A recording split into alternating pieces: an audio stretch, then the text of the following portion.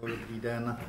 Vzhledem k tomu, že situace ve zdravotnictví není vůbec jednoduchá, spíše bych řekl, že je na té trajektorii sestupné a vzhledem k tomu, že pojišťovny ve svých úhradách, což je jediný zdroj peněz pro nemocnice, nemají zahrnuty investice a tak dále, tak už loni na můj návrh se podařilo eh, z rozpočtu kraje dostat 44 milionů do eh, našich páteřních nemocnicí a letos a včera je to 30 milionů.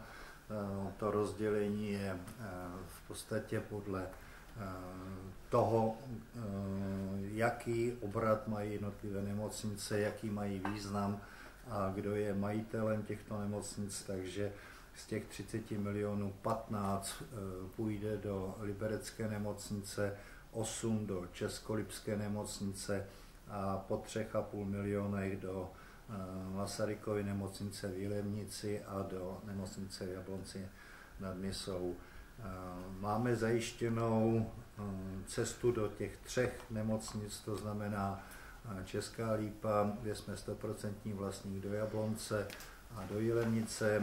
Komplikovaná situace je v Liberecké nemocnici, kde jsou tři akcionáři. Loni se podařilo, že participovali v poměru těch akcí se svým vkladem, ale letos e, ta cesta je, když to řeknu slušně, zarubaná, takže budeme jednat a už se otevřela jednání na tom, aby se změnili akcionářské poměry, protože kromě těchto investičních peněz eh, Rada Libereckého kraje slíbila, že uhradí eh, nákupní cenu za nemocnici Friedland, což je 8,6 milionů.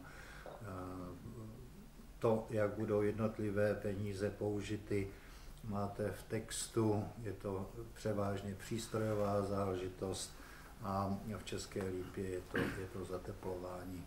Kromě těchto peněz existují pravidelné dotace do eh, investičního fondu do České lípy je to 30 milionů ročně a do Liberecké nemocnice směrem k výstavbě nového pavilonu je to 50 milionů.